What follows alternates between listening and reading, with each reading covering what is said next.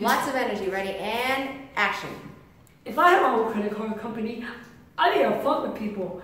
I get rid of all those fees, over the limit fees. It just comes down to treating people with respect. How about something like that? Cut.